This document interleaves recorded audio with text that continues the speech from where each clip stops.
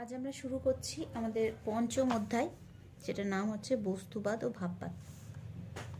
এই যে চ্যাপ্টারে আমরা যা কিছু পড়ব তা জ্ঞানবিদ্যার একটা প্রশ্নকে কেন্দ্র করে গড়ে উঠেছে। জ্ঞানবিদ্যার জ্ঞানবিদ্যা যে দর্শনের একটা শাখা, সেটা আমরা আগেই পড়েছি। তো এই জ্ঞানবিদ্যার একটা প্রশ্নকে কেন্দ্র করে এই পুরো চ্যাপ্টারটা গড়ে উঠেছে। পঞ্চম অধ্যায় আমরা যেটা পড়ব, সেটা একটা প্রশ্নকে কেন্দ্র করে গড়ে উঠেছে। প্রশ্নটা কি? যে যেমন ধরো আমরা তো সারাদিন আমরা নানা রকম বস্তুকে জানি। যেমন হঠাৎ করে দেখলাম আমাদের সামনে একটা পেন রয়েছে। দেখলাম টেবিলে একটা পেন পড়ে রয়েছে। তো আমি এটা জানলাম কি আছে, টেবিলে একটা পেন রয়েছে। আবার ধরো আমি যেতে, রাস্তা যেতে যেতে দেখলাম কি একটা শুকনো ফুল পড়ে রয়েছে। তো সেটা আমরা বলি, ও, রাস্তাতে একটা শুকনো ফুল পড়ে রয়েছে। তার মানে আমরা সারাদিন বিভিন্ন বিষয় সম্পর্কে জানি। বিভিন্ন বিষয়কে জানি। তো ধরো আমি সামনে একটা আমার এখানে একটা পেন পড়ে আছে। এখানে একটা একটা সামনে একটা পেন পড়ে আছে। আর এখানে আমি চোখ দিয়ে, আমি আমার চোখ দিয়ে সেই পেনটাকে দেখলাম। তো আমি চোখ দিয়ে পেনটাকে দেখলাম। এটা কি? এটা আমি। যে দেখছি, যে জানছি, তাকে বলা হয় জ্ঞাতা। এখানে আমি জানছি, তো আমি এখানে জ্ঞাতা। আর এখানে যাকে জানছি, সেটাকে বলা হয় জ্ঞেয় বস্তু ঠিক আছে? তাহলে দেখো, এখানে আর এই দুজনের মধ্যে একটা সম্পর্ক স্থাপিত হলো। মানে আমি আমার চোখ দিয়ে পেনটাকে দেখলাম, তো আমি হয়ে গেলাম জ্ঞাতা। আর যাকে দেখলাম মানে পেনটাকে দেখলাম, তো পেনটা হচ্ছে জ্ঞেয় বস্তু তো এই আমার পেনটাকে দেখার ফলে আমাদের দুজনের মধ্যে একটা সম্পর্ক গড়ে উঠল। এখানে একটা সম্পর্ক গড়ে উঠল। এখানে একটা সম্বন্ধ হলো। এই সম্বন্ধটাকে বলে জ্ঞান। জ্ঞানের সম্বন্ধ হলো।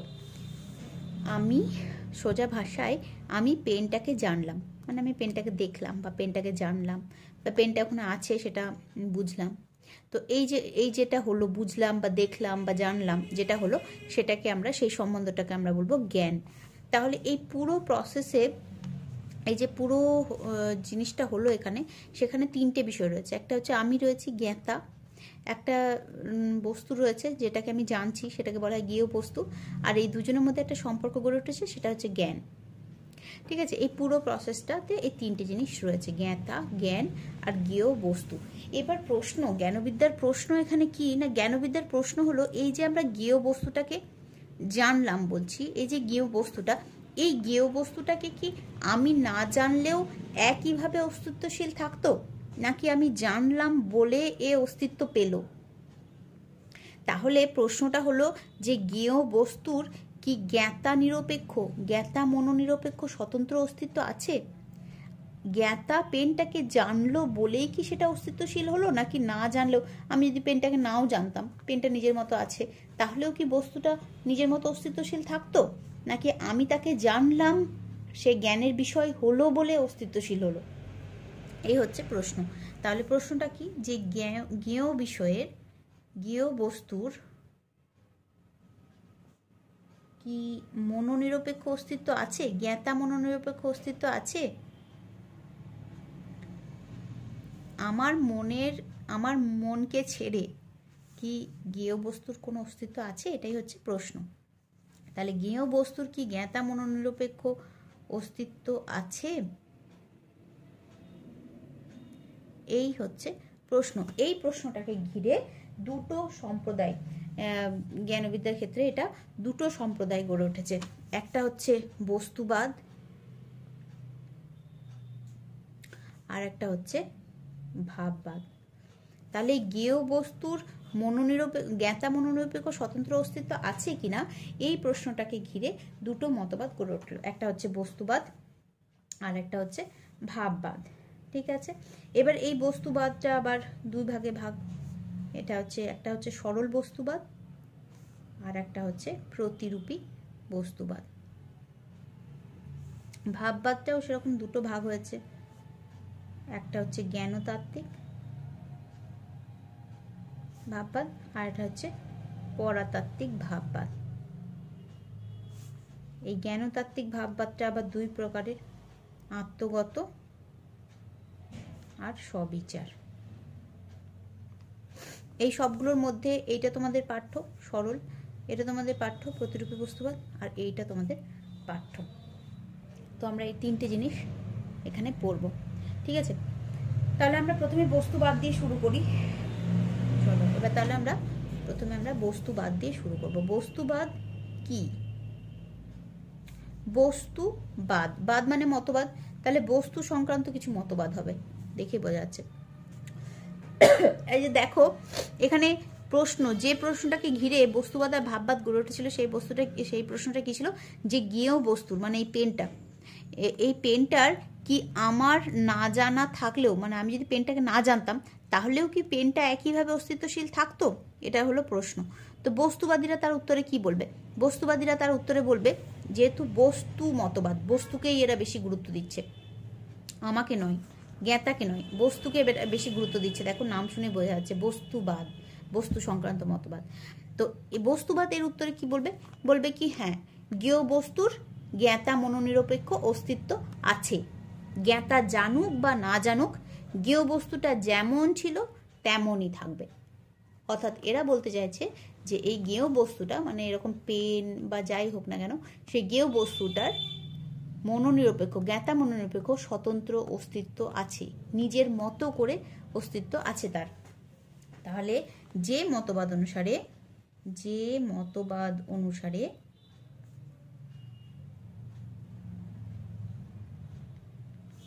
জাগতিক বস্তুসমূহের জাগতিক বস্তুসমূহের জ্ঞাতা মনোনিরপেক্ষ জ্ঞাতা মনোনিরপেক্ষ স্বতন্ত্র অস্তিত্ব আছে।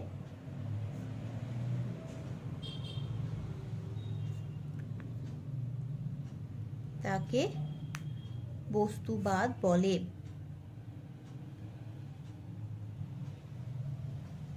অর্থাৎ বস্তুবাদীরা বলতে চাইছেন যে জ্ঞাতা জ্ঞেয় বস্তুকে জানুক বা না জানুক।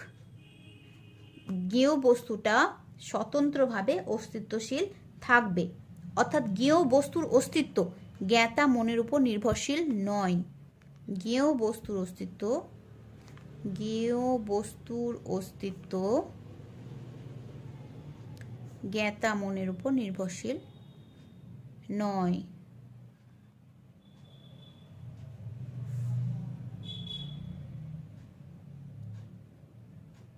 তার মানে বুঝতে পারছ? এখানে বস্তুকে আলাদা করে গুরুত্ব দেওয়া হচ্ছে। বলা হচ্ছে যে জ্ঞেয় বস্তুটাকে আমি জানি বা না জানি, সেটা ইম্পর্টেন্ট নয়। আমি জানলাম বা না জানলাম, এটা কিন্তু নিজের মতো অস্তিত্বশীল থাকবে। অর্থাৎ জ্ঞেয় বস্তুটা কোনোভাবেই জ্ঞাতার উপর নির্ভরশীল নয়। ঠিক আছে, জ্ঞাতার মনের উপর নির্ভরশীল নয়। জ্ঞেয় বস্তুর স্বতন্ত্র অস্তিত্ব আছে। তারা এখানে লিখতে পারি জ্ঞেয় বস্তু স্বতন্ত্র অস্তিত্ব আছে সোজা কথায়। আচ্ছা এবার দেখো বস্তুবাদের কতগুলো নির্দিষ্ট মত আছে, কতগুলো অভিমত আছে, কতগুলো বৈশিষ্ট্য আছে, যেগুলো, যেই মতবাদগুলো দেখলে আমরা বস্তুবাদীদের চিনতে পারব। এবার সেরকম কতগুলো বৈশিষ্ট্য আমি বলি, বস্তুবাদের মূল বক্তব্য বলি। হুম, মূল বক্তব্য। এই বস্তুবাদীদের মূল বক্তব্যগুলো কি কি? বস্তুবাদীদের মূল বক্তব্য হলো, দেখো, এইখানে বলে দিয়েছি, এই সম্বন্ধটা একটু বুঝে নাও। সেটা হচ্ছে, এইখানে হচ্ছে জ্ঞাতা আছে, এখানে জ্ঞেয় বস্তু আছে, এই দুজনের মধ্যে একটা সম্বন্ধ তৈরি হচ্ছে, সেই সম্বন্ধটাকে বলা হচ্ছে জ্ঞান। তো বস্তুবাদীরা এটাই বলে যে জ্ঞাতা আর জ্ঞেয় বিষয়ের মধ্যে সম্বন্ধ স্থাপিত হলে জ্ঞান উৎপন্ন হয়। তাহলে এটাই প্রথম তাদের বক্তব্য যে জ্ঞাতা ও জ্ঞেয় বিষয়ের মধ্যে সম্বন্ধ স্থাপিত হলে জ্ঞান উৎপন্ন হয়। তাহলে জ্ঞাতা আর জ্ঞেয় বিষয়ের মধ্যে সম্বন্ধ স্থাপিত হলে জ্ঞান উৎপন্ন হয়। এটা হচ্ছে এদের প্রথম এদের মানে বস্তুবাদীদের প্রথম বক্তব্য। দ্বিতীয় বক্তব্য কি? তাহলে দেখো, এখানে জ্ঞাতা আর জ্ঞেয় বিষয়ের মধ্যে একটা সম্বন্ধ স্থাপিত হয়ে গেল। এই সম্বন্ধটা হচ্ছে জ্ঞান। তার মানে জ্ঞান উৎপন্ন হলো। তাহলে জ্ঞাতা আর জ্ঞেয় বিষয়ের মধ্যে সম্বন্ধ স্থাপিত হলে জ্ঞান উৎপন্ন হলো। এবার এই যে জ্ঞানটা উৎপন্ন হলো, এই জ্ঞানটা কেমন জ্ঞান? বলে এই যে সম্বন্ধটা উৎপন্ন হলো, এই জ্ঞাতা আর জ্ঞেয় বিষয়ের মধ্যে সম্বন্ধ যেটা উৎপন্ন হলো, এই সম্বন্ধটা হচ্ছে বাহ্যিক সম্বন্ধ। এই সম্বন্ধটা হলো বাহ্যিক সম্বন্ধ। বাহ্যিক সম্বন্ধ কি বলছি তার আগে লিখে নিই যে জ্ঞাতা ও জ্ঞেয় বিষয়ের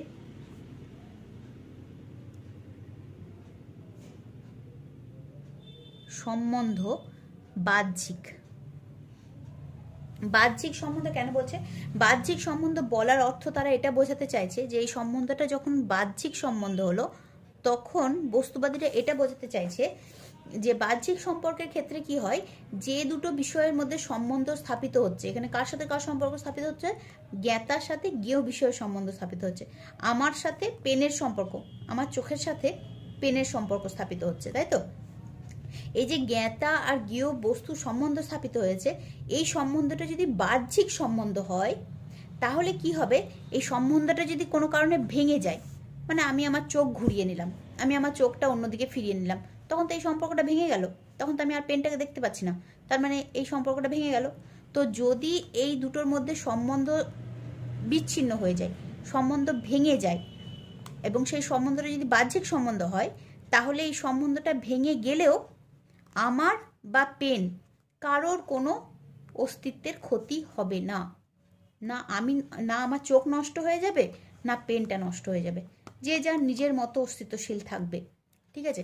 কিন্তু এই সম্পর্কটা যদি আত্মিক সম্পর্ক হতো, আত্মিক সম্পর্ক হতো যদি মানে আন্তরিক সম্পর্ক ভিতরের অভ্যন্তরীণ সম্বন্ধ হতো যদি, এটা বাহ্যিক সম্বন্ধ না হয়ে যদি এই সম্বন্ধটা মানে আভ্যন্তরীণ সম্বন্ধ হতো, আত্মিক সম্বন্ধ হতো, তাহলে কি হতো?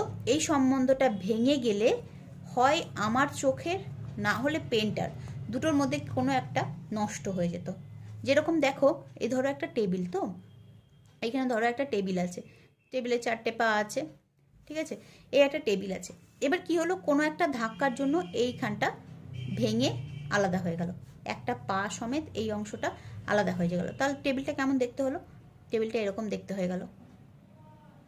এখানে একটা পা, দুটো পা, তিনটে পা। এই অংশটা নেই, ঠিক আছে? এই টেবিলটা ছিল সমগ্র টেবিল। এই টেবিলটা ছিল সমগ্র টেবিল। আর এই যে অংশটা ভেঙে গেল, সেটা ছিল তার অংশ। তারপরে এই টেবিলটা কি আর এই টেবিলটা রইল? রইল না।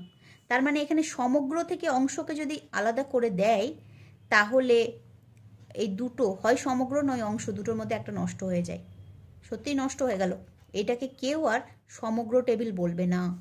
এটাকে কেউ আর সমগ্র টেবিল বলবে না। এটাকে কেউ সমগ্র বলবে না। তার মানে এই অংশের সাথে সমগ্র টেবিলটার সম্পর্ক ছিল আত্মিক সম্পর্ক, যার জন্য এদের সম্পর্ক ভেঙে যাওয়াতে এই টেবিলটা নষ্ট হয়ে গেল। টেবিলটা আর সমগ্র টেবিল থাকল না। কিন্তু এই সম্পর্কটা দেখো, এই জ্ঞাতার সাথে জ্ঞেয় বিষয়ের যে সম্পর্ক, আমার চোখের সাথে পেনের যে সম্পর্ক, আমি চোখ অন্যদিকে ফিরিয়ে নিলাম। ফলে আমার পেনের সাথে চোখের সম্পর্ক বিচ্ছিন্ন হয়ে গেল, কিন্তু তাতে আমার চোখটা নষ্ট হয়ে গেল না, বা পেনটাও নষ্ট হয়ে গেল না। এরা দুজন নিজের মতো অস্তিত্বশীল থাকল। তার মানে এর সম্পর্কটা হচ্ছে বাহ্যিক। বোঝা গেছে? সেটাই এরা বলতে চেয়েছে যে জ্ঞাতা আর জ্ঞেয় বিষয়ের সম্পর্ক বাহ্যিক। তাহলে এটা লিখে দিই একটু, যে বাহ্যিক সম্পর্কে বাহ্যিক সম্বন্ধের ক্ষেত্রে, বাহ্যিক সম্বন্ধের ক্ষেত্রে সম্বন্ধিত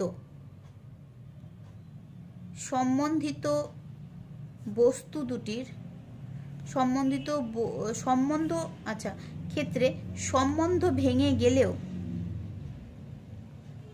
সম্বন্ধ ভেঙে গেলেও সম্বন্ধিত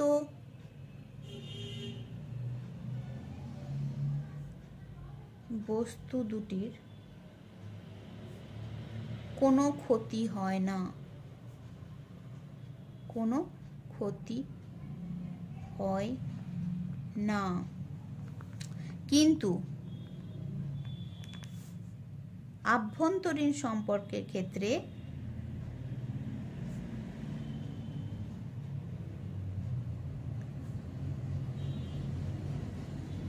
সম্বন্ধ ভেঙে গেলে সম্বন্ধ ভেঙে গেলে দুটি বস্তুর কোনো একটি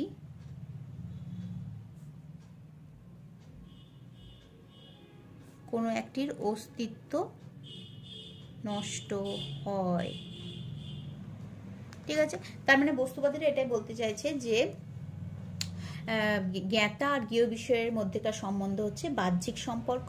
সেই কারণে এই সম্পর্ক যদি কখনো ভেঙেও যায়, সেই ক্ষেত্রে না জ্ঞাতা, না জ্ঞেয় বিষয়। কারোরই অস্তিত্বের কোনো ক্ষতি হয় না। ঠিক আছে? এবার হচ্ছে তিন নাম্বার দেখো। এবার আমি কি করল? এখানে একটা জ্ঞান, একটা সম্বন্ধ হলো, সেটাকে আমরা জ্ঞান বললাম এবং এই সম্বন্ধটা বাহ্যিক সম্পর্ক দেখলাম। আচ্ছা একটা জিনিস ভেবে দেখো। জ্ঞাতা আর জ্ঞেয় বিষয়ের মধ্যেকার সম্পর্কটা যদি বাহ্যিক হয় মানে এই সম্পর্কটা ভেঙে গেলেও কারোর কোনো ক্ষতি হয় না। যে যেমন ছিল সে তেমনই সুন্দরভাবে থাকে। তাই যদি হয়, তাহলে এটা বলতে পারি আমরা যে জ্ঞাতা বস্তুর স্বতন্ত্র অস্তিত্ব, জ্ঞাতার স্বতন্ত্র অস্তিত্ব আছে আর জ্ঞেয় বস্তুরও স্বতন্ত্র অস্তিত্ব আছে। ঠিক আছে? তাহলে আমরা এটা বলতেই পারি যে জ্ঞেয় বস্তুর জ্ঞাতা মনোনিরপেক্ষ স্বতন্ত্র অস্তিত্ব আছে। তাহলে এটাই এখানে বলতে চেয়েছে। এটাই ওদের মেন কথাও। এই তিন নম্বর যে পয়েন্টটা এটাই বস্তুবাদের মূল কথা। একেবারে মূল কথা, একেবারে যে যদি বলতে চাই, তাহলে এটাই। যে জ্ঞেয় বস্তুর জ্ঞেয় বস্তুর জ্ঞাতা মনোনিরপেক্ষ, আমরা সংজ্ঞাটাও তাই পড়লাম, জ্ঞাতা মনোনিরপেক্ষ স্বতন্ত্র অস্তিত্ব আছে। স্বতন্ত্র অস্তিত্ব আছে। ঠিক আছে? এটা হলো তিন নাম্বার। আচ্ছা তাহলে এখনও পর্যন্ত আমরা যেটা দেখলাম, তাহলে দেখলাম যে জ্ঞাতা আর গৃহ বিষয়ের মধ্যে সম্বন্ধ স্থাপিত হলে জ্ঞান উৎপন্ন হয়, আর জ্ঞাতা আর গৃহ বিষয়ের মধ্যে এই সম্বন্ধটা হলো একটা বাহ্যিক সম্পর্ক। এবং বাহ্যিক সম্পর্ক হয়েছে বলেই আমরা এটা বলতে পারছি যে তোমার হচ্ছে জ্ঞাতা, গৃহ বস্তুর জ্ঞাতা মনোনিরপেক্ষ স্বতন্ত্র অস্তিত্ব আছে। আচ্ছা এবার দেখো, যদি এরা দুজন স্বতন্ত্রভাবে অস্তিত্বশীল হয় এবং আমরা যখন চোখ দিয়ে পেনটাকে দেখছি, তখন পেনটা সম্পর্কে আমার একটা জ্ঞান হয়। তাহলে আমি এটা বলতে হবে যে, পেনটা আগে থেকে অস্তিত্বশীল ছিল। আগে অস্তিত্বশীল ছিল, তবে তো আমি তাকে দেখেছি, তবে আমার জ্ঞান হয়েছে। তাহলে আগে বস্তুর অস্তিত্ব, তারপর তার জ্ঞান। যদি পেনটার অস্তিত্বই না থাকতো, তাহলে আমার জ্ঞান হতো পেনটা সম্পর্কে? হতো না। তাহলে আগে বস্তুর অস্তিত্ব, তারপরে তার জ্ঞান। তাহলে এরা এটাই বলতে চাইছে যে, আগে বস্তুর অস্তিত্ব আগে বস্তুর অস্তিত্ব, তারপর তার জ্ঞান। আচ্ছা একটা ছায়া পড়ছে ছোট্ট করে। কোনোভাবে আমি এই ছায়াটা বন্ধ করতে পারছি না। আগে বস্তুর অস্তিত্ব, তারপর তার জ্ঞান। আমি যদি একটু সরে বসি, তাহলে ছায়াটা কি বেশি পড়বে?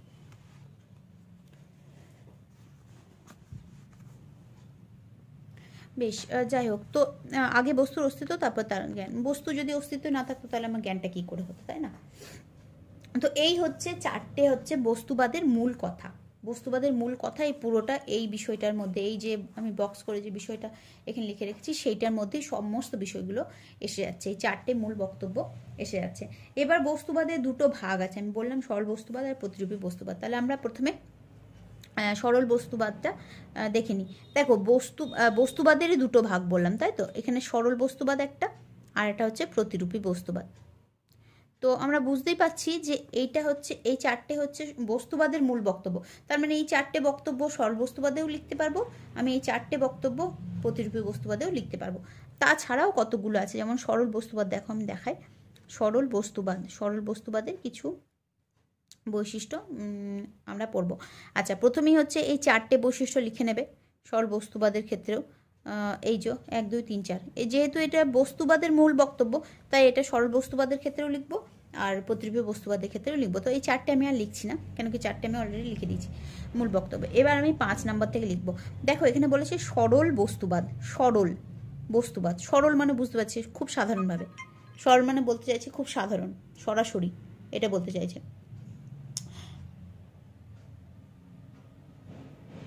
আচ্ছা তো সরল মানে খুব সাধারণভাবে এটাই বলতে চাইছে হ্যাঁ?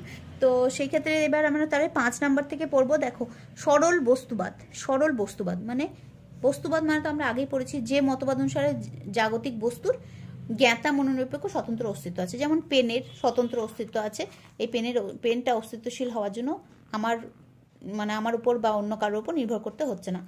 তো, সরল বস্তুবাদীরা বলতে চাইছে যে বস্তুবাদীরা এই মতটাকে বিশ্বাস করছে, বস্তুবাদীরা এই মতটা বিশ্বাস করছে।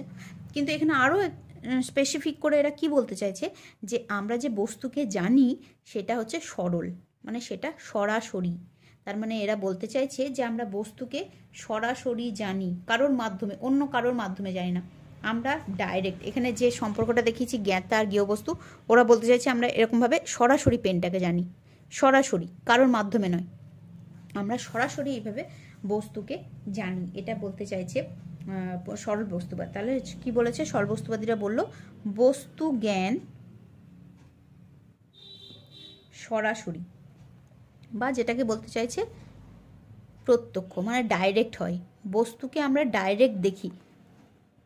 কোনো কিছুর মাধ্যমে দেখি না। বস্তুকে আমরা সরাসরি এইভাবে ডাইরেক্ট দেখি। তো এর বলতে চাইছে যে বস্তু জ্ঞান সরাসরি। কেন বলতে চাইছে? এ বলছে যে আমাদের মন মন হলো একটি সর্ববস্তুবাদী এটা বলছে যে মন হলো একটি একটি আয়না, অমলিন আয়না হ্যাঁ? বলতে চাইছে যে মন, আমাদের মন একটা অমলিন আয়না। এর মধ্যে বস্তুর প্রতিফলন হয়।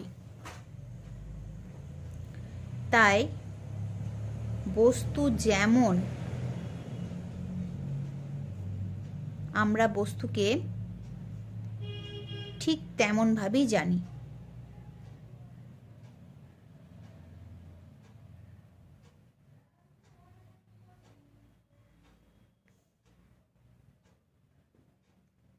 এটা বোঝার চেষ্টা করো। এরা বলতে চাইছে যে বস্তুকে আমরা সরাসরি জানি। যেমন ধরো এই পেনটা। এই পেনটাকে আমি আমার চোখ দিয়ে দেখছি। তাহলে সরাসরি এই পেনটাকে আমি দেখব। অন্য কিছুর মাধ্যমে নয়। যেমন তুমি তোমার মুখটা। যেমন তুমি তোমার মুখ দেখো। তো মুখ কিসে দেখো? তুমি তোমার মুখটা আয়নাতে দেখো। তো তুমি কি তোমার মুখটাকে সরাসরি দেখতে পাচ্ছ? পাচ্ছ না। কিসের মাধ্যমে দেখছ? আয়নার মাধ্যমে দেখছ। সরল বস্তুবাদীরা বলছে, আমরা কিন্তু এই রকম করে বস্তুকে দেখি না। বস্তুকে আমরা সরাসরি দেখি, বস্তুকে আমরা ডাইরেক্ট দেখি। ঠিক আছে? তো সেই জন্য এ বলেছে, এ আইন দেখো মনকে আয়না বলেছে, কিন্তু এটাও বলেছে সঙ্গে যে বস্তুতে যে প্রতিফলনটা ঘটে, সেটা বস্তুটা যেমন আমরা ঠিক তাকে তেমনভাবেই জানি। তুমি দেখো এটা তুমি যখন তোমার মুখটা আয়নাতে দেখো, তখন তুমি তোমার মুখে যদি কোথাও ব্রণ আছে বা ফুসকুড়ি হয়েছে, তো তুমি সেগুলো আয়নাতে দেখতে পাও। ঠিক না? তো সেগুলো তুমি আয়নাতে দেখতে পাও, মুখটা দেখলে। কিন্তু যদি তুমি ক্যামেরাতে দেখো, আর অনেক রকম সব সিস্টেম আছে না রকম ক্যামেরাতে, সেগুলো অন করে রাখো, তাহলে দেখবে তোমার ক্যামেরাতে দেখাচ্ছে তোমার ব্রণগুলো নেই, তোমার যে কালো দাগ আছে সেটাও নেই। তো ওগুলো সব মিলিয়ে দিচ্ছে। তো কোনটা রিয়েল আয়নাটাতে যেটা দেখছ সেটা রিয়েল লাগছে নাকি ক্যামেরাতে যেটা দেখছ সেটা রিয়েল লাগছে? যেটা আয়নাতে দেখছ সেটা রিয়েল লাগছে? তো সরল বস্তুবাদীরা বলতে চাইছে যে আমাদের মনটা হচ্ছে সেই আয়নার মতো, যেখানে বস্তুটা ঠিক যেমন আছে, আমরা বস্তুটাকে তেমনই দেখি। অন্যরকম করে দেখি না, যেরকম বস্তুটা সেই রকম করেই তাকে দেখি। সেই কারণে এরা বলছে যে চেতনা, আমাদের যে চেতনা, আমাদের চেতনা হলো সন্ধানী আলো। সন্ধানী আলো,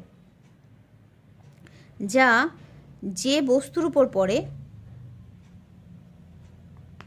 যা যে বস্তুর উপর পড়ে, তা স্বরূপে ধরা দেয় মানে নিজের রূপে ধরা দেয়।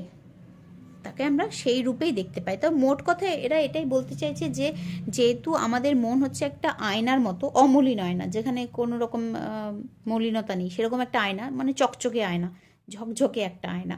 তো আমাদের মন হচ্ছে একটা আয়নার মতো, সেই কারণে বস্তুর একদম সঠিক প্রতিবিম্ব সেখানে পড়ে, প্রতিফলন সেখানে পড়ে। এবং আমরা বস্তুটা যেমন আমরা তাকে তেমনভাবেই দেখতে পাই। সেই কারণে দেখো এখানে চেতনাকে একটা সন্ধানী আলো বলা হয়েছে। সন্ধানী আলোতে যেমন করে স্পষ্ট দেখা যায়, ঠিক স্পটলাইটের মতো যেরকম আলোটা পড়ে সন্ধানী আলো, সেই রকম করে আমরা বস্তুকে ঠিক বস্তুটা যেমন তাকে সেইভাবেই দেখতে পাই। তাহলে এরা কি বলতে চাইলো? যে বস্তুকে আমরা যেহেতু সরাসরি জানি, তাই কারণে বস্তুটা যেমন তাকে আমরা সেইভাবেই দেখতে পাই। ঠিক আছে? এবার তারপরেটা তারপরে পয়েন্টটা আমরা দেখি দাও দেখো। এখানে বলতে চাইছে, এর পরের পয়েন্টে এটা বলবে যে বস্তু, বস্তুকে আমরা তো সরাসরি জানছি। যেহেতু আমরা বস্তুকে সরাসরি জানছি মানে এই ধরো, এটা ধরো বস্তু, এটা কিছু আছে, চকলেট বা কিছু একটা আছে, এখানে তুমি আছো। তো তুমি এখানে সরাসরি দেখছ যেহেতু, কোনো কিছুর মাধ্যমে নয়, সরাসরি দেখছ। তোমার মন হচ্ছে একটা অমলিন আয়না, সেখানে এই চকলেটের ছাপটা পড়েছে এবং তুমি এই চকলেটটাকে দেখতে পেয়েছ আর তোমার খুব খেতেও ইচ্ছে হয়েছে। তো যেহেতু আমি বস্তুকে, যেহেতু আমার মন বস্তুকে সরাসরি দেখছে, সেই কারণে আমাদের চেতনা কিন্তু বস্তুকে প্রভাবিত করতে পারছে না। আমাদের চেতনা মনে মনে বস্তুটাকে বদলে নিয়ে আমাদেরকে দেখাচ্ছে না। কেন কি বস্তুটাকে যেহেতু সরাসরি দেখছি, তাই চেতনা ওকে কোনো রকম পরিবর্তনই ঘটাতে পারছে না। ঠিক আছে? তাহলে কি বলতে চাইছে? বস্তু জ্ঞান সরাসরি হওয়ায় বস্তু জ্ঞান সরাসরি হওয়ায় চেতনা বস্তুকে প্রভাবিত করতে পারে না। চেতনা বস্তুকে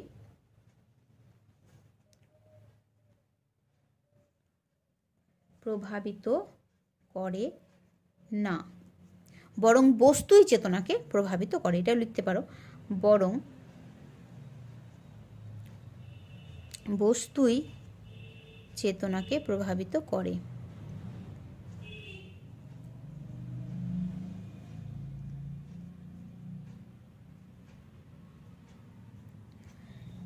ঠিক আছে। আর একটা পয়েন্ট আমরা এখানে অ্যাড করতে পারব। সেটা হচ্ছে, ওটা আমরা কত নম্বর পয়েন্ট করলাম ছ নম্বর পয়েন্ট পড়েছে। তাহলে সাত নম্বর পয়েন্ট আমরা এটা অ্যাড করতে পারব যে আচ্ছা আমরা তো দেখলাম যে বস্তুর মনোনিরপেক্ষ স্বতন্ত্র অস্তিত্ব আছে। পুরো বস্তুবাদীরা এটা স্বীকার করছে, সরল বস্তুবাদীরাও স্বীকার করে আর প্রতিরূপী বস্তুবাদীরাও স্বীকার করে। তাহলে যেহেতু বস্তুর আমাদের মনোনিরপেক্ষ স্বতন্ত্র অস্তিত্ব আছে, তাহলে বস্তু যেমন আমাদের মনের বাইরে আছে, তেমনি বস্তুর যে গুণগুলো, যেমন রূপ, রস, গন্ধ এইগুলোও কিন্তু আমাদের মনের বাইরেই আছে। এগুলো কিন্তু আমাদের মনের সৃষ্টি নয়। তাহলে বস্তুর যেমন স্বতন্ত্র অস্তিত্ব আছে বস্তুর যেমন জ্ঞাতা, মনোনিরপেক্ষ, স্বতন্ত্র অস্তিত্ব আছে। মনোনিরপেক্ষ, স্বতন্ত্র অস্তিত্ব আছে।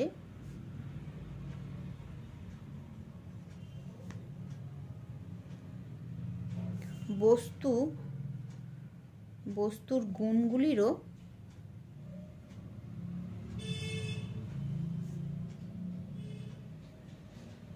তেমনই স্বতন্ত্র অস্তিত্ব।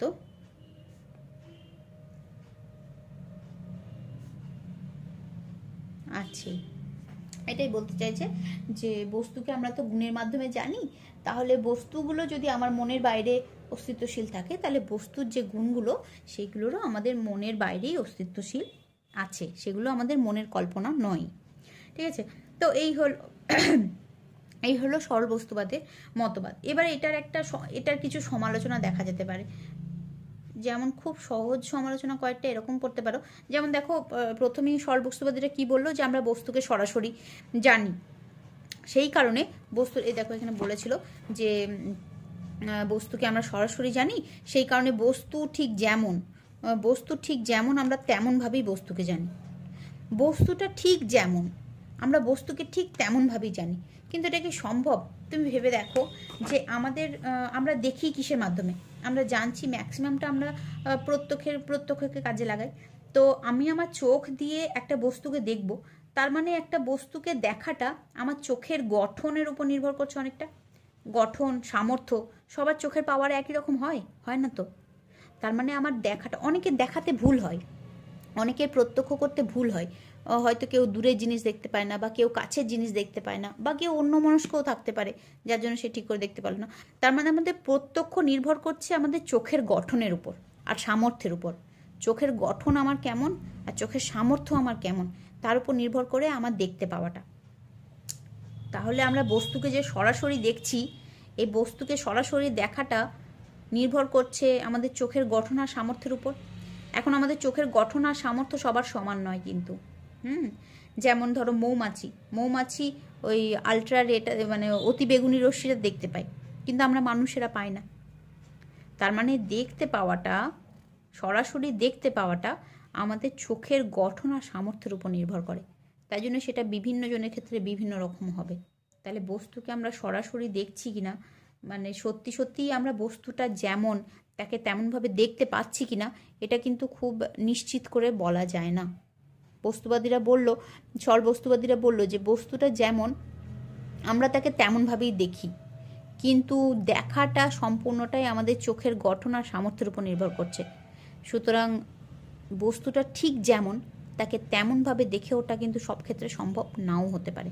তাহলে সেটাই আমরা সমালোচনাতে লিখে নেব প্রথমে, যে প্রকৃতপক্ষে বস্তু যেমন, প্রকৃতপক্ষে বস্তু যেমন তাকে ঠিক তেমনভাবে তেমন দেখা সম্ভব নয়। কারণ প্রত্যক্ষ করা, কারণ প্রত্যক্ষণ আমাদের চোখের গঠন ও সামর্থ্যের উপর নির্ভরশীল।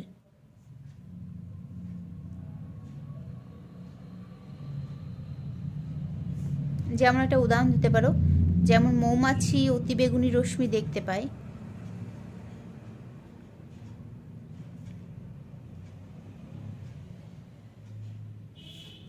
অতি বেগুনি রং দেখতে পায়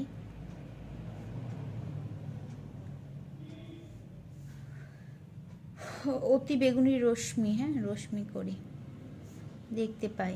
কিন্তু মানুষ পায় না। কিন্তু মানুষের চোখের পক্ষে তা সম্ভব নয়।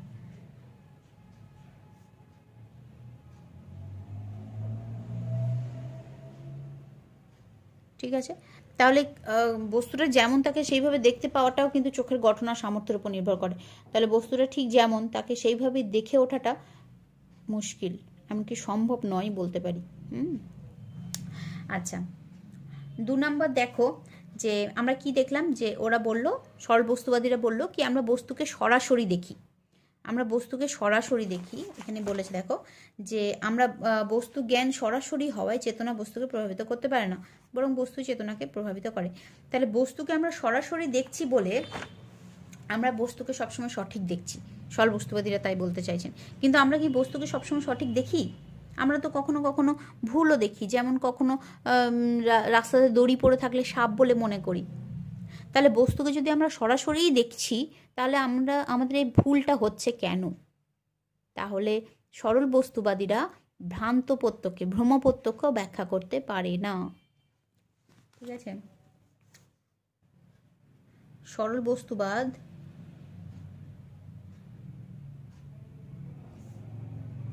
ভ্রান্ত প্রত্যক্ষ বা ভ্রম প্রত্যক্ষ লিখতে পারো।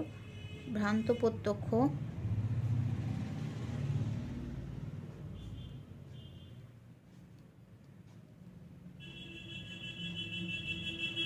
পারে না। বস্তুকে যদি আমরা সরাসরি দেখি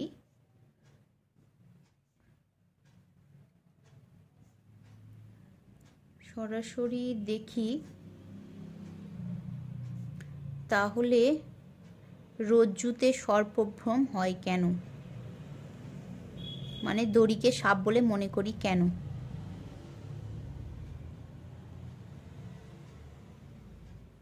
এটা একটা প্রশ্ন হতে পারে। ঠিক আছে আরও একটা জিনিসের ব্যাখ্যা করতে পারে না সরল বস্তুবাদ তিন নম্বরে, সেটা হচ্ছে সরল বস্তুবাদ অমূল প্রত্যক্ষ ব্যাখ্যা করতে পারে না। আমি বলছি অমূল প্রত্যক্ষ কি?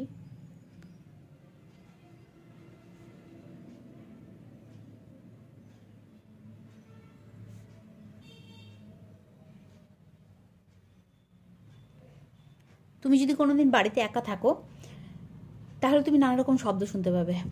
যেমন তোমার মনে হবে, মনে হতে পারে এরকম যে সিঁড়ি দিয়ে যেন কে ঠক ঠক করে উঠে আসছে। আদৌ সেখানে কেউ উঠে আসছে না, কিন্তু তোমার মনে হচ্ছে। যেখানে কোনো বস্তু নেই, সেখানে অন্য কোনো বস্তুর কল্পনা করাই হচ্ছে অমূল প্রত্যক্ষ। হঠাৎ তোমার মনে হতে পারে তুমি একা আছো, হঠাৎ তোমার মনে হতে পারে বাইরের দরজা দিয়ে কে ছুটে পেরিয়ে গেল। আসলে কেউ পেরিয়ে যায়নি। সম্পূর্ণটাই তোমার মনের মানে ভ্রান্ত ভ্রান্ত ধারণা। যেখানে কোনো বস্তু নেই, সেখানে কোনো বস্তুর কল্পনাই হচ্ছে অমূল প্রত্যক্ষ, যেটা আমাদের অনেক সময় হয়। ঠিক আছে? তো এই যে হয়, এইটার ব্যাখ্যা দিতে পারে না। যেহেতু বস্তুর সাথে আমাদের প্রত্যক্ষ সরাসরি, তাহলে অমূল প্রত্যক্ষ হয় কেন? সে ব্যাখ্যা সর্বস্তুবাদ দিতে পারে না। ঠিক আছে? দেখো, আবার তারপরে আমাদের সাধারণ জীবনের ক্ষেত্রেও আমরা নানা রকমের আমাদের নানা রকমের ভুল ভ্রান্তি হয়। অনেক সময় প্রত্যেকে ভুল হয় না? প্রত্যেকে নানা রকমের ভুল হয়। ভুল করে কিছু একটা দেখে, দেখো, যেটা আসলেই সেটা নয়। এরকম কিছু দেখো। তো এরকম ইন্দ্রিয়ের ক্ষেত্রে প্রায় আমাদের ভুল হয়। তাহলে বস্তুকে যদি আমরা সরাসরি দেখি, তাহলে আমাদের এই ভুলগুলো হয় কেন? আমরা তো একদম ডাইরেক্ট যদি দেখছি, সরল বস্তুবাদ অনুসারে যদি আমরা বস্তুকে সরাসরি দেখছি, একেবারে ডাইরেক্ট দেখছি, তাহলে সেই ক্ষেত্রে আমাদের প্রত্যক্ষে, ইন্দ্রিয় প্রত্যক্ষে নানা রকমের ভুল হয় কেন? সেই ধরনের ভুলের ব্যাখ্যা কিন্তু সর্বস্তুবাদ দিতে পারেনি। ঠিক আছে, এবার তাহলে আমরা প্রতিরূপী বস্তুবাদ দেখো। আমরা কতগুলো সমালোচনা দেখে নিলাম সর্বস্তুবাদে এবার আমরা প্রতিরূপী বস্তুবাদ পড়ি একটুখানি। প্রতিরূপী বস্তুবাদ। দেখো প্রতিরূপী বস্তুবাদ এদের এরা তো অবশ্যই বস্তুবাদ। সুতরাং বস্তুবাদের মূল বক্তব্য এরা স্বীকার করে যে বাহ্য বস্তুর জ্ঞাতা মনোনিরপেক্ষ স্বতন্ত্র অস্তিত্ব আছে। এরা স্বীকার করে সেটা। কি না এই মতবাদ অনুসারে বস্তুর মনোনিরপেক্ষ স্বতন্ত্র অস্তিত্ব স্বীকার করা হয়। কিন্তু এটা দেখো বলে দিয়েছে, আগেটা আমরা পড়েছিলাম সরল বস্তুবাদ, এটা পড়ছি প্রতিরূপী বস্তুবাদ। তার মানে প্রতিরূপ নিয়ে কিছু বলবে। যেরকম আমাদের প্রতিচ্ছবি গঠিত হয়। প্রতিরূপ, সেই প্রতিরূপ নিয়ে কিছু একটা বলবে হ্যাঁ? তো এই মতবাদ অনুসারে কি? না, প্রথমটা তো স্বীকার করেই নেবে বস্তুবাদের মূল বক্তব্যটা, যে যে মতবাদ অনুসারে, যে মতবাদ অনুসারে বস্তুর জ্ঞাতা মনোনিরপেক্ষ জ্ঞাতা মনোনিরপেক্ষ স্বতন্ত্র অস্তিত্ব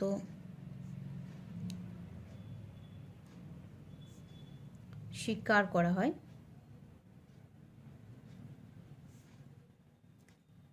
এবং বস্তু জ্ঞানকে এবং বস্তু জ্ঞানকে পরোক্ষ বলা হয়।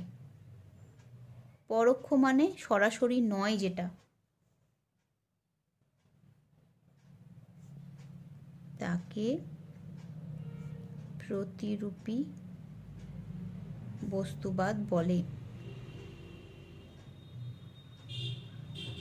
তাহলে এখানে সরল বস্তুবাদীদের সাথে এদের পার্থক্যটা কোথায় হয়ে গেল? এইখানে হয়ে গেল। ওরা বলেছিল বস্তু জ্ঞান সরাসরি, এরা বলছে ঠিক তার অপোজিট বস্তু জ্ঞান পরোক্ষ।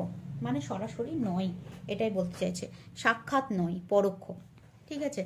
তো এখানেই হয়ে গেল প্রতিরূপী বস্তুবাদের সাথে সরল বস্তুবাদের একটা পার্থক্য, একটা বড় ধরনের পার্থক্য। তো কি যে মতবাদ অনুসারে বস্তুর জ্ঞাতা, মনোনিরপেক্ষ, স্বতন্ত্র অস্তিত্ব আছে, এটা তো সব বস্তুবাদীরাই স্বীকার করে। এরাও যেহেতু বস্তুবাদী, এরাও স্বীকার করে। কিন্তু এইখানে পার্থক্যটা হয়ে যাচ্ছে সরল বস্তুবাদের সাথে, সেটা হচ্ছে বস্তু জ্ঞানকে এরা পরোক্ষ বলেছে। বস্তু জ্ঞানকে পরোক্ষ বলা হয়, তাকে প্রতিরূপী বস্তুবাদ বলে। এবার এদের মূল বক্তব্যগুলো কি কি? মূল বক্তব্য দেখো।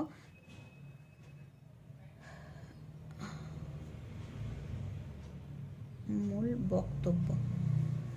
মূল বক্তব্য কী কী? আচ্ছা আমরা আগে এখানে সলবস্তুবাদের এখানে দেখে নিয়েছি সলবস্তুবাদের মূল বক্তব্যগুলো এখানে পড়েছি। এবার আমরা এখানে প্রতিরূপী বস্তুবাদের মূল বক্তব্যগুলো পড়ব। এরকম করে দুটো মতবাদের মধ্যে পার্থক্য টেনে দিলেই কিন্তু সলবস্তুবাদ আর প্রতিরূপী বস্তুবাদের পার্থক্যটাও তৈরি হয়ে যাবে হ্যাঁ? তো দেখো এবার প্রতিরূপী বস্তুবাদটা আমরা পড়ি। প্রথমেই বলল কি প্রথমে তো ওই চারটে হবে পয়েন্ট যেগুলো বস্তুবাদের ক্ষেত্রে আমরা পড়েছি। বস্তুবাদের মূল বক্তব্য যে চারটে ছিল, সেই চারটে প্রথমে আমি আর বলছি না ওগুলো, যেহেতু একবার বলে দিয়েছি। আচ্ছা তৃতীয়ত হচ্ছে পঞ্চমত হচ্ছে কি না, এরা প্রথমেই বলল কি বস্তুর জ্ঞান সরাসরি নয় মানে বস্তুর জ্ঞান প্রত্যক্ষ হয় মানে বস্তুর প্রত্যক্ষ জ্ঞান হয় না। কি জ্ঞান হয়? পরোক্ষ জ্ঞান হয়। সল বস্তুবাদীরা বলেছিল যে বস্তুর প্রত্যক্ষ জ্ঞান হয়, কিন্তু এরা বলল বস্তুর পরোক্ষ জ্ঞান হয়। তাহলে বস্তু জ্ঞান প্রত্যক্ষ নয়। পরোক্ষ। এটা এদের প্রথম বক্তব্য, যে বস্তুর জ্ঞান প্রত্যক্ষ নয় পরোক্ষ।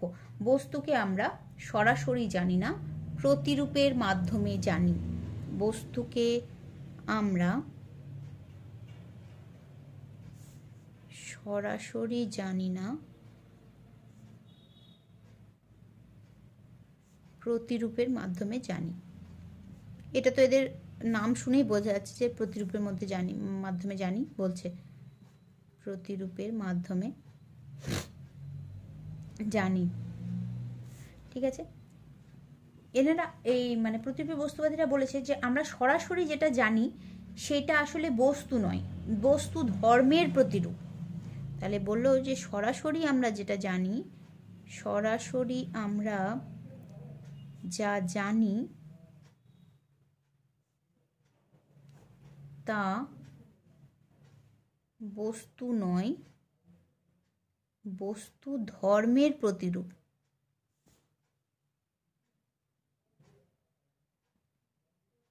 সর্বস্তুবাদীরা কি বলেছিল? আমাদের চেতনা হলো সন্ধানী আলো। এরা বলল, আমাদের চেতনা আমাদের চেতনা হলো আচ্ছা এটা পরের পয়েন্টে লিখলেও হতো। এটা পরের পয়েন্টে লিখি যে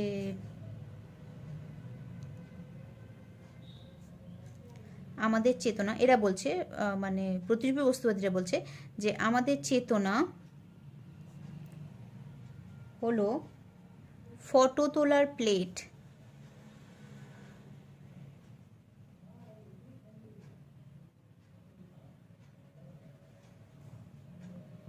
যেখানে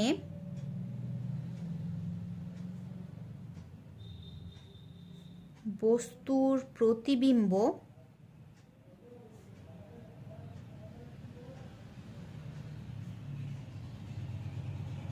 গঠিত হয়। আগে আমি বললাম তোমাদেরকে আয়না, ওরা বলেছে আমাদের মন আয়না, আর সন্ধানী আলো বলেছে চেতনাকে।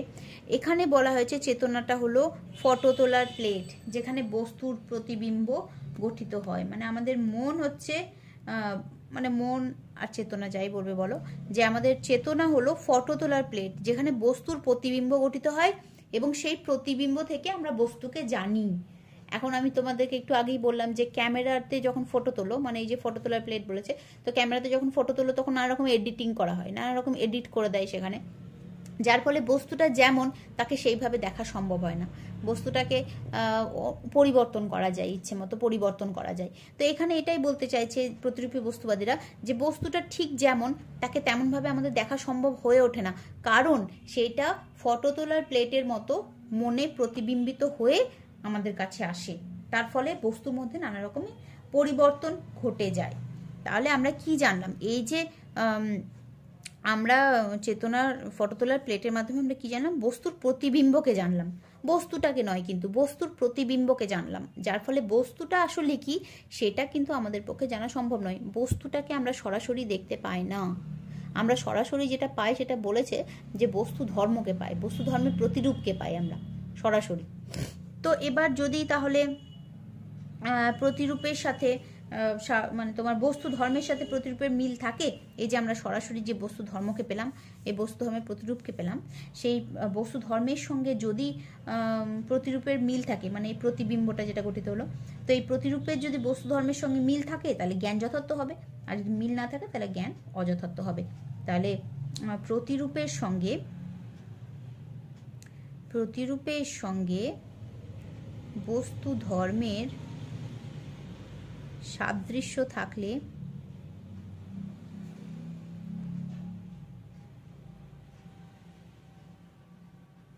জ্ঞান যথার্থ হয় এবং সাদৃশ্য না থাকলে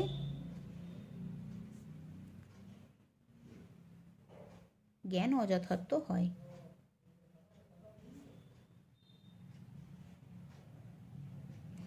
আচ্ছা দেখো, এইভাবে প্রতিরূপের মাধ্যমে ব্যাখ্যা করাতে একটা সুবিধে হলো। সেটা হচ্ছে ভ্রান্ত জ্ঞান আমাদের কেন হয়? তার ব্যাখ্যা আমরা পেলাম। দেখো, বলেছে, প্রতিরূপের সঙ্গে বস্তু ধর্মের সাদৃশ্য থাকলে জ্ঞান যথার্থ হবে। কিন্তু যদি প্রতিরূপের সাথে বস্তু ধর্মের সাদৃশ্য না থাকে, তাহলেই ভ্রান্ত জ্ঞান হবে। ঠিক আছে? তার মানে এখানে এটাই বলতে চাইছে প্রতিপি বস্তুবাদীরা যে আমরা বস্তুকে কিন্তু কোনোভাবেই সরাসরি জানতে পারি না। বস্তুকে আমরা প্রতিবিম্বের মাধ্যমে জানি। প্রতিবিম্ব কোথায় হয়? আমাদের মনে প্রতিবিম্বিত হয়। কারণ আমাদের মন হচ্ছে একটা ফটো তোলার প্লেটের মতো, যেখানে বস্তুটার প্রতিবিম্ব গঠিত হয়। আর সরাসরি আমরা কি পাই? সরাসরি আমরা কতগুলো বস্তু ধর্মের প্রতিরূপকে পাই। এই বস্তু ধর্মের যে প্রতিরূপ আমরা সরাসরি পেয়েছি ইন্দ্রিয়ের মাধ্যমে, এই প্রতিরূপের সাথে যদি বস্তু ধর্মে মিল থাকে, তাহলে বস্তুর জ্ঞানটা যথার্থ হয়। আর যদি এই প্রতিরূপের সাথে বস্তু ধর্মের সাদৃশ্য না থাকে, তাহলে সেই ক্ষেত্রে জ্ঞানটা অযথার্থ হয়ে যায়। ঠিক আছে, এই হচ্ছে মূল বক্তব্য। আচ্ছা এবার হচ্ছে লক হচ্ছেন এই প্রতিরূপী বস্তুবাদের প্রধান প্রবক্তা। লক, এটা শর্ট প্রশ্নও আসতে পারে। লক প্রতিরূপী বস্তুবাদের প্রধান প্রবক্তা।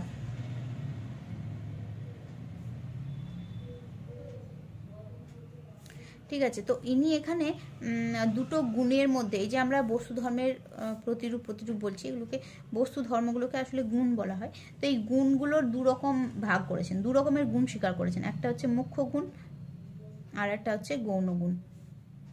আর একটা হচ্ছে আর একটা হচ্ছে গৌণ গুণ। মুখ্য গুণ কোনগুলোকে বলেছেন? মুখ্য, বলেছেন বস্তুর নিজস্ব গুণ হচ্ছে মুখ্য গুণ।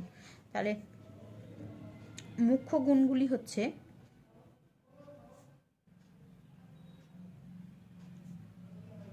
বস্তুর নিজস্ব গুণ।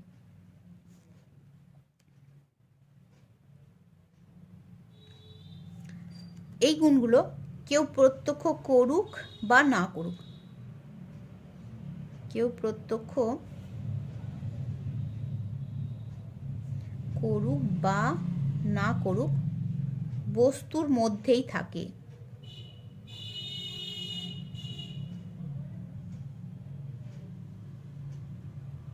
এই গুণগুলো থেকে বস্তুকে আলাদা করা যায় না। সেগুলোকে বলা হয় মুখ্য গুণ হ্যাঁ তাই জন্য বলেছে, কেউ প্রত্যক্ষ করুক বা না করুক, এইগুলো, এই গুণগুলো বস্তুর মধ্যেই থাকে। ঠিক আছে, যেমন হচ্ছে, যেমন আকার, বস্তুর আকার, আয়তন, বিস্তৃতি, ভার, এরকম, হুম? আর গৌণগুণগুলি গৌণগুণগুলি বস্তু নিজস্ব গুণ নয়।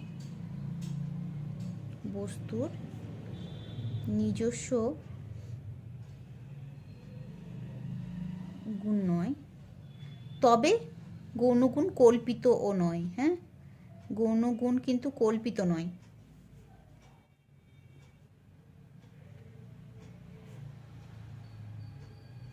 এই গুণগুলি যেরকম বস্তুর উপর নির্ভর করে, সেরকম আমাদের ইন্দ্রিয়ের উপরেও নির্ভর করে, ঠিক আছে?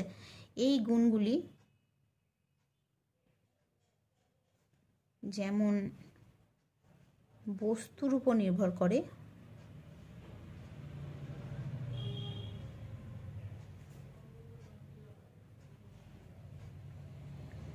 তেমনি আমাদের ইন্দ্রিয়ানুভবের উপরেও নির্ভর করে।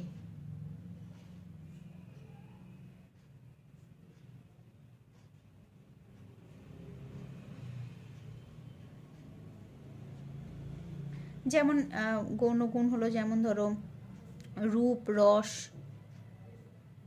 গন্ধ, এরকম। বর্ণ, রূপ বলেছি তো, তার মধ্যেই রূপ, রস, গন্ধ বর্ণ এরকম। আচ্ছা এবার কি করেছেন উনি? আমাদের লক সেটা হচ্ছে মুখ্য গুণ আর গৌণ গুণের মধ্যে একটা পার্থক্য করেছেন। এগুলো আসতে পারে কিন্তু পরীক্ষাতে। পার্থক্য করো, এরকম আসতে পারে, মুখ্য গুণ ও গৌণ গুণে। তো খুব সহজে পার্থক্য করা যায়, দেখো। যেমন ধরো, আমি বললাম মুখ্য গুণগুলো আগেই আমরা পেয়েছি যে বস্তুর নিজস্ব গুণ। মুখ্য গুণগুলো বস্তুর নিজস্ব গুণ। তো আমি এক নম্বর পয়েন্ট এটাই লিখব যে মুখ্য গুণগুলি মুখ্য গুণগুলি বস্তুর নিজস্ব গুণ।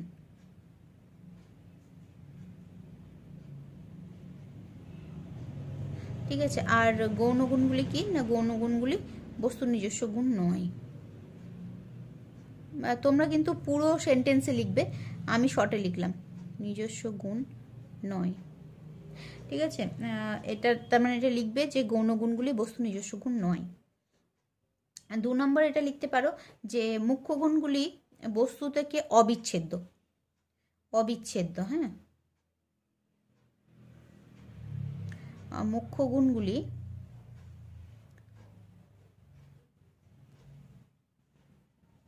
বস্তু থেকে অবিচ্ছেদ্য। মানে কোনোভাবেই বিচ্ছিন্ন করা যায় না। অবিচ্ছেদ্য। যেমন দেখো আকার। আকারকে বস্তুতে কী করে আলাদা করবে তুমি? আকারকে কোনো না কোনো আকার তো তার থাকবেই। হ্যাঁ তুমি আকারটা হয়তো অন্যরকম করে নিতে পারো। গোল আকার ছিল, সেটাকে চার কোনো আকার করতে পারো। মোট কথা আকার তোমাকে রাখতেই হচ্ছে। তাহলে এই আকার, আয়তন, বিস্তৃতি, ভার, এগুলো হচ্ছে বস্তু থেকে আলাদা করা যায় না। তো মুখ্য গুণগুলিকে বস্তু থেকে আলাদা করা যায় না। মানে অর্থাৎ মুখ্য গুণগুলি বস্তু থেকে অবিচ্ছেদ্য, কিন্তু গৌণ গুণগুলোকে বস্তু থেকে আলাদা করা যায়। গৌণ গুণগুলিকে বস্তু থেকে আলাদা করা যায়। যেমন ধরো, বর্ণ। বর্ণ হচ্ছে একটা গৌণ গুণ এই বর্ণকে বা গন্ধকে, বন, বর্ণ বা গন্ধ, এগুলো হচ্ছে বস্তুর গৌণ গুণ তো গন্ধটাকে বস্তু থেকে আলাদা করা যায়। যেমন, তোমার হচ্ছে গোলাপের গন্ধটাকে বা গোলাপের রঙটাকে বস্তু থেকে, গোলাপ থেকে আলাদা করা যায়। সেরকম হচ্ছে বর্ণ, গন্ধ, এগুলো হচ্ছে গৌণ গুণ এগুলো বস্তু থেকে ইচ্ছে মতো আলাদা করা যায়। ঠিক আছে? অপরিবর্তনীয়। মুখ্য গুণগুলো পরিবর্তন করা যায় না বলছে।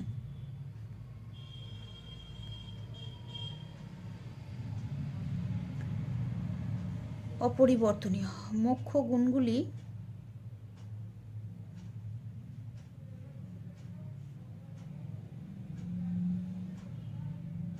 অপরিবর্তনীয়। আর গৌণ গুণগুলিকে পরিবর্তন করা যায়।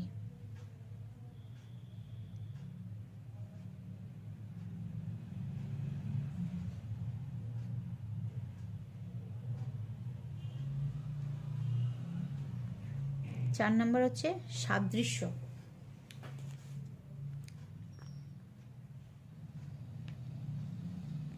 সাদৃশ্য বলছে যে মুখ্য গুণের সাথে বস্তু ধর বস্তুর সাদৃশ্য থাকে। মুখ্য গুণের সঙ্গে বস্তুর সাদৃশ্য থাকে।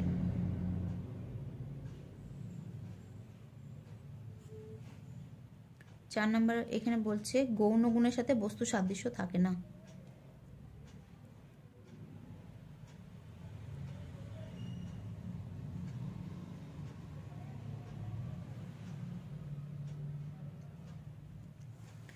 ঠিক আছে, এই হলো লকের করা মুখ্যগুণ গণগুণের পার্থক্য। এবারে এটা একটা সমালোচনাও হয়েছে যে মুখ্যগুণ গণগুণের পার্থক্য হচ্ছে সম্পর্কে সমালোচনা। সেই সমালোচনাটা একটু লিখে নেব, কিন্তু আসলে পাতাটা আমার অন্যদিকে হয়ে গেছে। তো এটা তোমরা একটু মনে রাখো, আমি পরপর পাতা উল্টে উল্টে দেখাবো। প্রথমটা দেখে নিয়ে দেখো বলেছে মুখ্যগুণগুলি বস্তু নিজস্ব গুণ, আর গৌণগুণগুলি বস্তু নিজস্ব গুণ নয়। কিন্তু গৌণ গুণগুলিও ততটাই ইম্পর্টেন্ট যতটা মুখ্য গুণগুলো কেননা আকার, আয়তন এগুলো যদি বস্তুর নিজস্ব গুণ হয়, তাহলে তুমি একটা ভেবে দেখো যে রং ছাড়া, এই আমি এটা কালো রঙের পেন নিয়ে এখানে লিখছি বলে লেখাগুলো সুন্দরভাবে ফুটে উঠছে এবং তোমরা সেগুলো চিনতে পারছ। আমি যদি এটা সাদাতেই লিখতাম, সাদার উপরে সাদা দিয়ে লিখতাম, তাহলে কি তোমরা সেই লেখাগুলো দেখতে পেতে? পেতে না। তার মানে মুখ্য গুণগুলো মানে আকার, আয়তন, এগুলো যেমন ইম্পর্টেন্ট এগুলো যেমন বস্তুর নিজস্ব গুণ তেমনই গৌণ গুণগুলোও বস্তুর নিজস্ব গুণই হওয়া, হবে। কেন কি রং ছাড়া আকার, এই যে আমি এরকম ধরো চারকোনা আকার করলাম, এই চারকোনা আকারটা যদি আমি কালো পেন দিয়ে না করে, আমি সাদা পেন দিয়ে সাদার উপরে করতাম, তাহলে তুমি কি দেখতে পেতে? দেখতে পেতে না। তার মানে রংটাও ততটাই ইম্পর্টেন্ট যতটা আকার। এই আকারটা যতটা ইম্পর্টেন্ট এই আকারটা বোঝা যেত না যদি আমি একটা রং দিয়ে না করতাম। সেই কারণে মুখ্য গুণগুলো যদি বস্তু নিজস্ব গুণ হয়, তাহলে গৌণ গুণগুলোও বস্তু নিজস্ব গুণই হবে। কারণ রং ছাড়া মানে বর্ণ ছাড়া আকার কল্পনা করা যায় না। বর্ণ ছাড়া আকার কল্পনা করা যায় না। আমি হাওয়ার মধ্যে এরকম আঙুল দিয়ে করলাম। তুমি কিছু দেখতে পাচ্ছ আকার? মানে হাওয়ার মধ্যে ভেসে রয়েছে কোনো আকার? নেই। কেন? কেননা হাওয়ার মধ্যে কোনো রং দিয়ে আমি করিনি। আমি যদি রং দিয়ে করি, রং দিয়ে কোথাও করি, এখানে আবির দিয়ে বা কিছু দিয়ে করলাম, তখন তুমি এই আকারটা দেখতে পাচ্ছ কেন না সেখানে রং দিয়েছি। তাহলে রং ছাড়া আকারের বোধগম্য হয় না।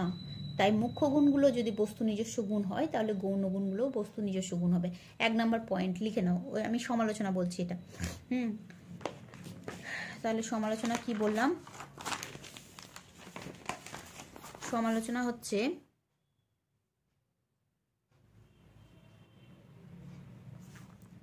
এক নম্বর সমালোচনা হলো যে, যেহেতু বর্ণ ছাড়া আকারের কল্পনা করা যায় না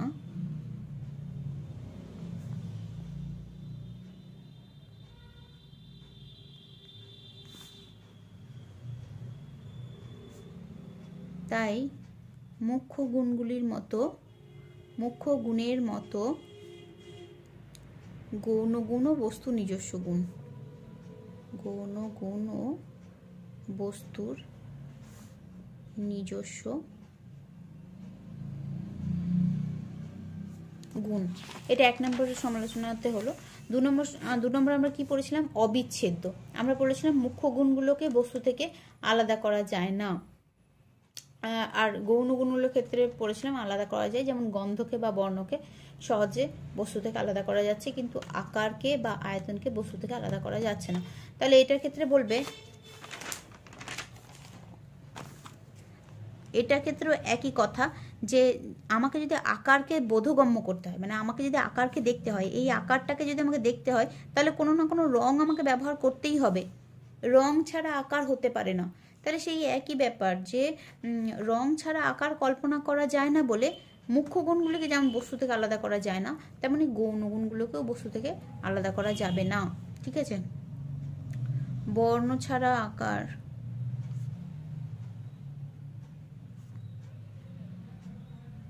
হয় না? তাই মুখ্য গুণের মতো গৌণ গুণগুলিও অবিচ্ছেদ্য। মুখ্য গুণের মতো গুণগুলিও অবিচ্ছেদ্য।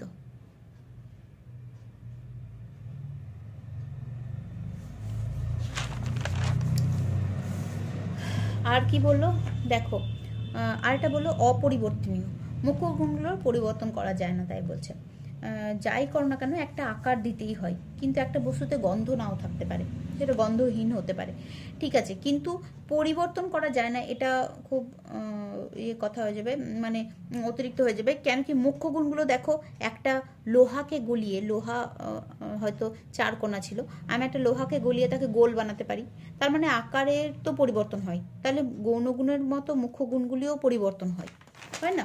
কি একটা আমি একটা লোহাকে গলিয়ে আমি, লোহাটা চারকোনা ছিল, আমি লোহাকে গলিয়ে আর গোল আকার দিয়ে দিলাম। তাহলে আকারের তো পরিবর্তন হচ্ছে। তাহলে মুখ্য গুণের গৌণ গুণের মতো মুখ্য গুণগুলিও পরিবর্তন হয়। গৌণ গুণের মতো মুখ্য গুণগুলিও পরিবর্তন হয়।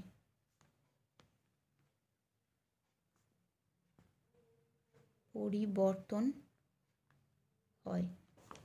আচ্ছা এবার তারপর লাস্ট পয়েন্টে কি ছিল? সাদৃশ্য। যে মুখ্য গুণের সঙ্গে বস্তুর সাদৃশ্য আছে। বলেছে মুখ্য গুণের সাথে বস্তুর সাদৃশ্য আছে। কিন্তু একটু আগেই আমরা প্রতিরূপী বস্তুবাদের পড়ার সময় পড়েছিলাম যে বস্তুকে আমরা সরাসরি জানি না। আমরা সরাসরি কি জানি? বস্তু ধর্মের প্রতিরূপকে জানি। তাহলে আমরা যদি বস্তুকে নাই জানতে পারি, তাহলে বস্তুর সঙ্গে মুখ্য গুণের সাদৃশ্য আছে কিনা কি করে জানলাম? আসলেই তো আমরা বস্তুকেই জানতে পারি না। আমরা বস্তুকে জানতে পারি না, আমরা সরাসরি যেটা জানি সেটা হলো বস্তু ধর্মের প্রতিরূপ।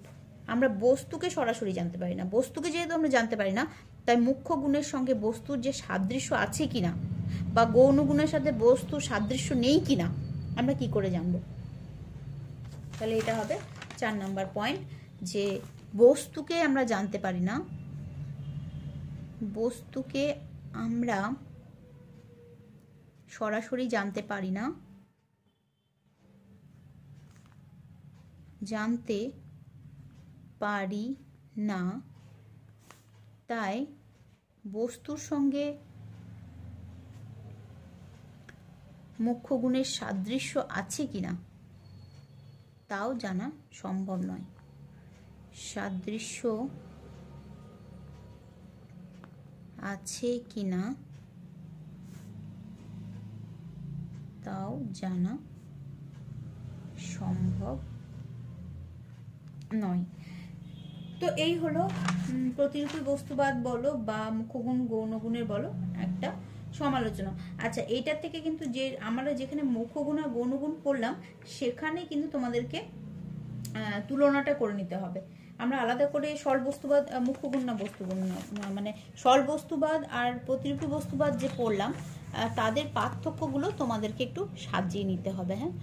যে এরা কি কি বলল পরপর যেমন এরা বলল কি বস্তুকে আমরা সরাসরি জানি কিন্তু প্রতিরূপী বস্তুবাদ বলল আমরা সরাসরি জানি না আমরা পরোক্ষভাবে প্রতিরূপের মাধ্যমে জানি। তারপরে এরা বলল কি আমাদের মন হচ্ছে একটা সন্ধানী আলো কিন্তু এরা বলল আমাদের মন হচ্ছে ফটো তোলার প্লেট। তো এই ধরনের যে পার্থক্যগুলো আছে সেইগুলো তোমাদেরকে একটু পরপর সাজিয়ে নিতে হবে হ্যাঁ? হ্যাঁ, আমরা পড়ে নিচ্ছি। তাহলে এখান থেকে কিন্তু একটা বড় প্রশ্ন আসবে বস্তুবাদ আর ভাববাদ থেকে। তো বস্তুবাদটা আমরা এখন পড়লাম।